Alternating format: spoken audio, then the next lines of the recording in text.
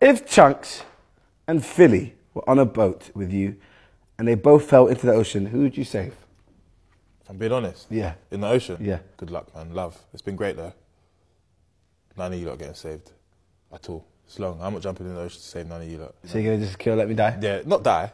Well, that's what's gonna happen. I was oh, not, I'm not trying to kill you, the currents are crazy. the currents are crazy, and currently I'm not trying to get you. So, yeah, it's not happening.